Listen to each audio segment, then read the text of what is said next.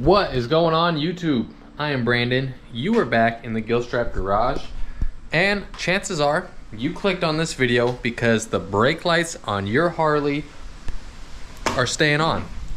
Just like mine. Just check it out. I'm gonna turn the key on. We got some pretty bright lights back there. I'm gonna hit the brake pedal. Nothing changes. I'm gonna hit the brake lever. Nothing changes. I'm gonna go after it right now. It's usually something pretty simple. This started happening, I didn't even realize it for a little while. This started happening after I put these tall bars on there. It was a little bit of a stretch with this brake line here because parts of this brake line are steel. So it's pulling on this housing a little bit and that's where our problem is gonna lie.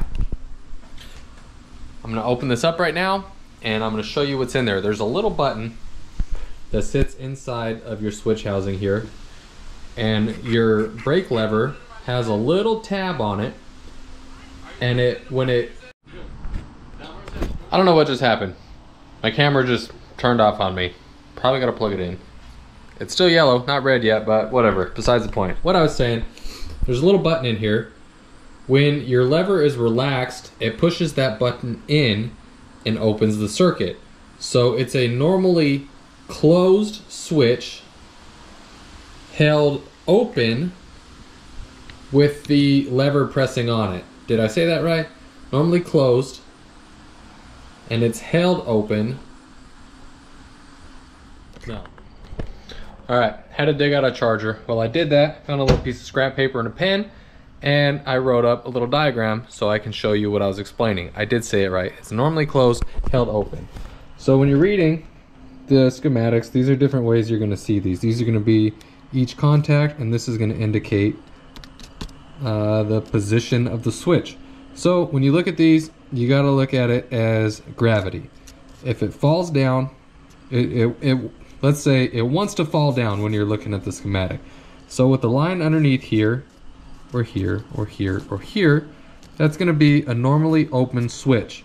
So this is just going to be normally open. That'll be normally open, held closed. Something's got to push on that to keep it closed normally open, normally open, held closed. Those are just different ways you might see it in the schematics. This is going to be a normally closed switch. This wants to fall. So this would be normally closed, held open. This would be normally closed, normally closed, held open, normally closed. That's it. So what we've got, then I decided after I drew that, I said, let's pull up the schematic so we can find it. 2004 to 2005 EFG or EFI. Oh, this is for a wide glide. Same thing. That that part of it's not gonna be significant. Fine. found the front brake switch here. The camera's probably not gonna want to hone in on that too well. Front brake switch, and you can see through the blurriness that right there. A normally closed switch held open. It looks just like that. So now I'm gonna show you what it looks like, not on paper. And then when I open it up and we see what's going on, I'll explain what happens a lot of times with these things. So we're gonna take our T27 right here and I'm gonna take off the master cylinder because, well, the whole master cylinder and lever perch, I don't know, you can call it a hundred different things. Call it what you want, it's still gonna do the same thing.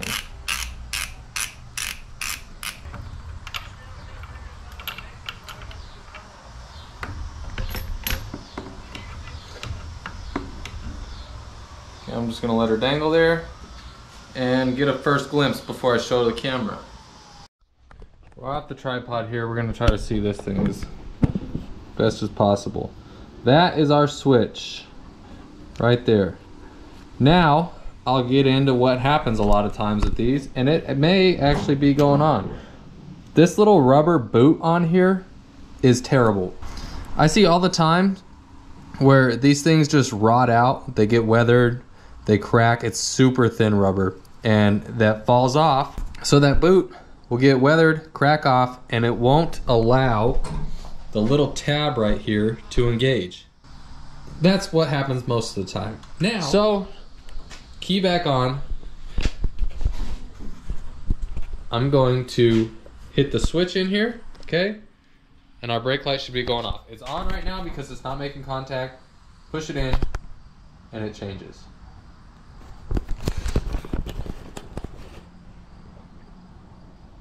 Okay, well,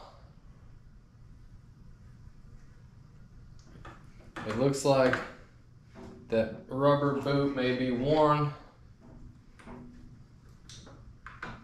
I'm gonna try something that I don't really recommend. Okay, which way would it need to go? Like I said, don't recommend this because if this breaks, well then I'm out. I need a brake switch and a new set of hundred something dollar levers. I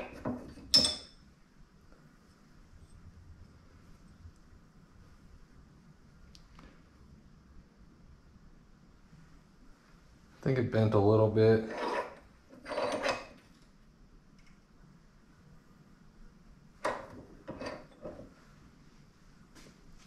I bent that in a little bit on the vise. Let me see if it helps us out.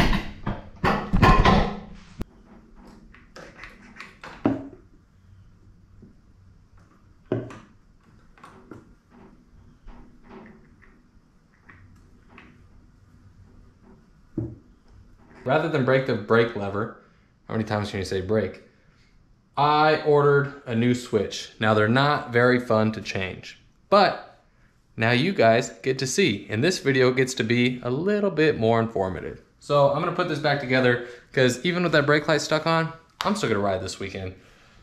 My wife and kids are gone. I am going insane in this house by myself with these animals and I need to go put my knees in the breeze. You know what I'm saying?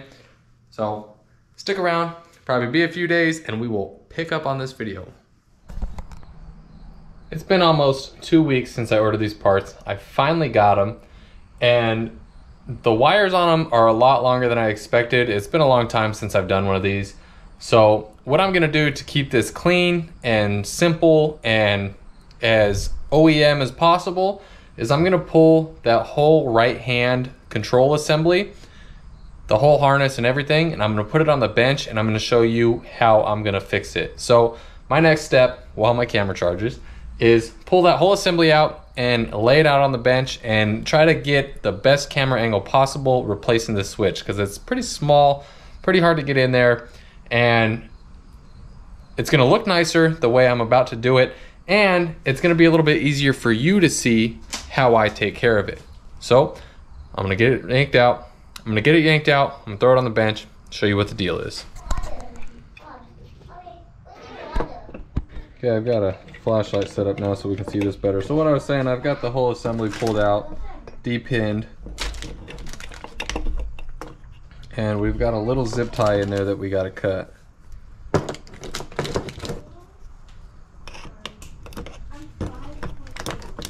Okay, oh, there it went flying. Now, now that we've got this out, we've got a little Torx in there. I think it's a T20 that we gotta move.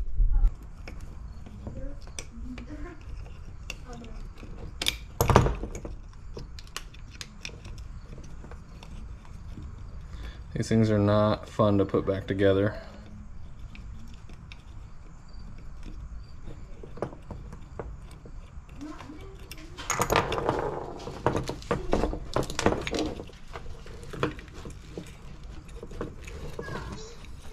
Okay, so you get that one out, out of the way.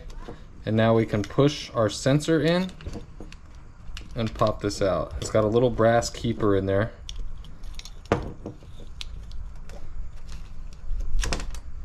There we go. That's a, the little brass keeper. And now that this is all out, we can, I'm gonna have to cut back the rest of this that I didn't take off before, cut back my heat shrink and expose the rest of the loom.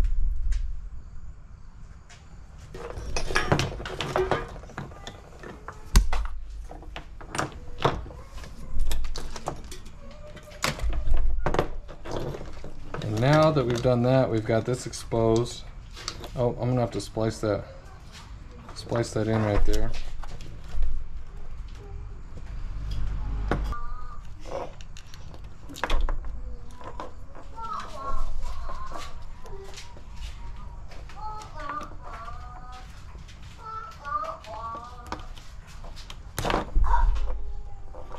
Alright. And we've got the red and yellow.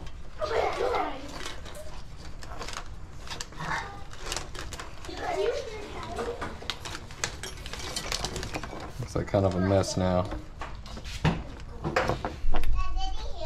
I did hear you. We'll cut this little piece off here. And that is the old sensor, or the old switch. See where the rubber broke right there? Oh yeah, they got stuck. Now we'll get ready for the new one. You can, you might be able to see the difference on there, how that sticks out just a little bit further, that last little bit that we were missing. And the nice part about the aftermarket switch is that it's not just the little rubber that you're relying on, because that's what wears out and breaks. You actually got that plastic piece sticking out. So now I'm gonna take my harness and match up the length so we're not all cockeyed. I'm gonna snip that little bit. We don't need all that excess. And what I have to do now, my next step, because all my tools are at work, I'm gonna cut this back and install these Deutsch pins on the new one. So you guys will see this in just a second. It'll be tomorrow for me with this cut back and new connections on there. And then we'll get we'll get this piece that we had to cut all soldered in on the switch on the turn signal switch. Look at that spliced in and we'll be ready to rock. Um, I've got the new ends on, the new Deutsch pins on. Did those at work because all that stuff is in my service truck, just like the OEM ones. I've got this soldered together. I did not cut this wire all the way through. I just cut back some of the insulation, exposed it, and then wrapped the turn signal switch wire around it, gummed it up with some flux, and laid some solder in there. Before I can put the loom back on, we're gonna get the turn signal switch set in the housing. And then we're gonna get our turn signal, okay, back that up. We're gonna get our brake switch set in the housing, then put in our turn signal switch, and then bolt it down.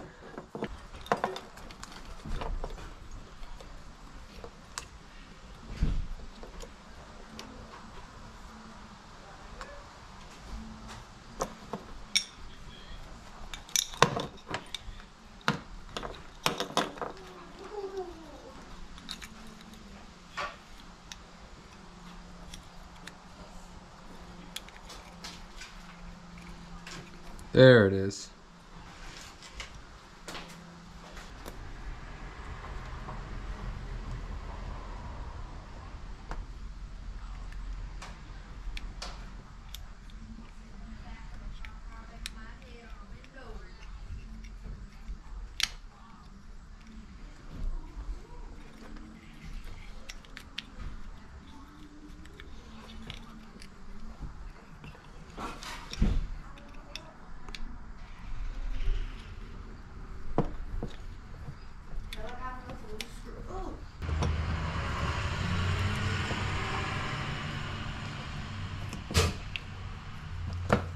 Whoa, hey, what are you stapling to, homegirl?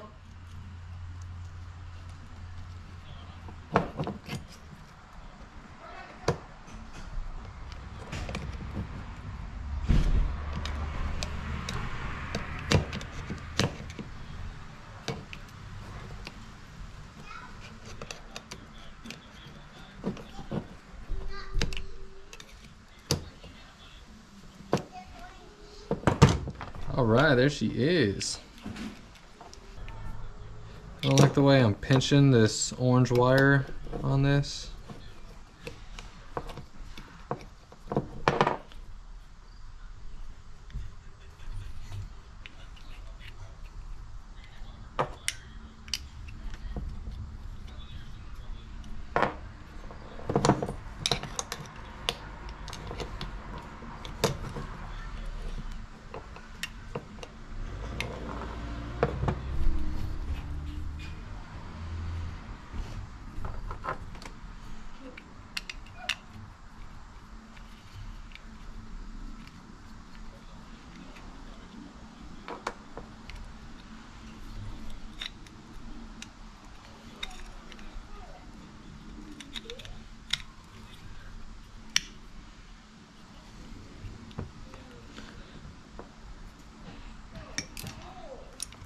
How it goes sometimes. Sometimes you gotta take it apart and put it back together 400 friggin' times to get it to where you won't have an issue. Okay, perfect. Now we're gonna get, what I'll do, I'll set these two halves together.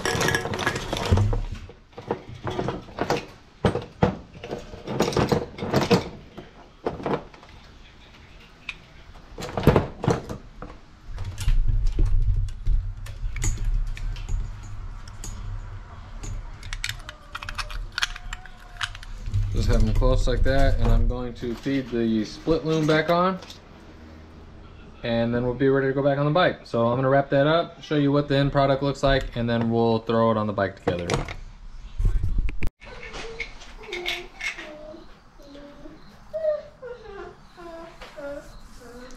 Like it was never apart. So we're gonna get it routed back through the handlebars, plug back in, and it'll be about time to test our little switch. All right, I've got everything plugged in here, got the wires around through the bars. I'm going to flip the ignition on and just make sure that everything's working before I pull everything back.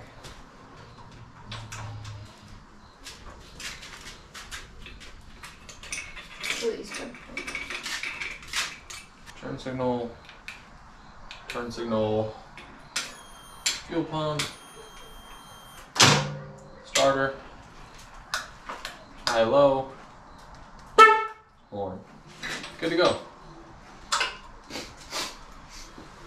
Now I'm gonna get all this pulled back into the frame and then we can put our switch housing together and see if our problem is solved. All right, just squeezing the housing together here.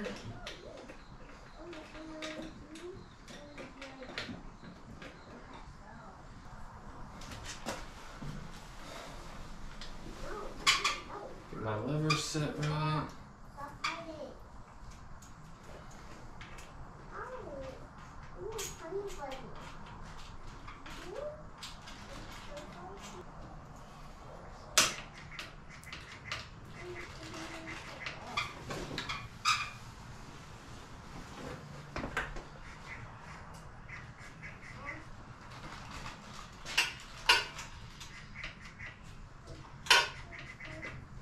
Think.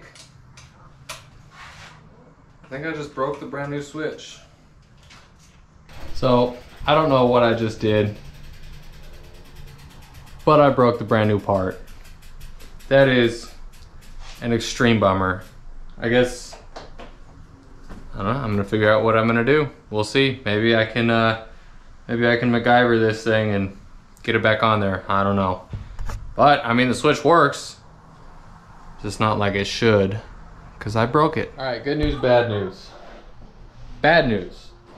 I did break that button off of there. Good news, it's got a little lip on it where that rubber boot. What, I got grease all over my face? Yeah. Jesus. Why, why do you bring stuff like this home? Why are you like this? Why are you Look like at- this? Put your hands up. Okay, good news. The seal or that button has a little lip on it where it sits inside the rubber boot. So, check it out. Oh, blinkers on. squeeze it too tight. So, it's working for now. I'll give it a little test ride, see if it holds up. That is gonna have to be replaced again, but that sounds like a job for winter when I tear these bars off and get them powder coated. And I've also got some good videos coming up. I'm gonna clean up this whole thing because I don't, I love this Lexton charger, but I don't love how this is kind of hanging here. I've got these lights hanging here. I've got some stuff planned. I've got some parts in on how I'm gonna clean this thing up. So stay tuned. Thanks for watching. Make sure to like, comment, subscribe, all that, and good luck to you on fixing your brake light. An- another note, I need to dub this in. I could have saved a ton of time and just cut those wires inside this handlebar housing, installed the new switch, and soldered them together in there. But I didn't want to do that. Wanted to keep it clean. Wanted to keep it stockish. Um, I don't know. I'm happy with the result. Bummed that I broke that piece, but overall, pretty happy. So, see you in the next one.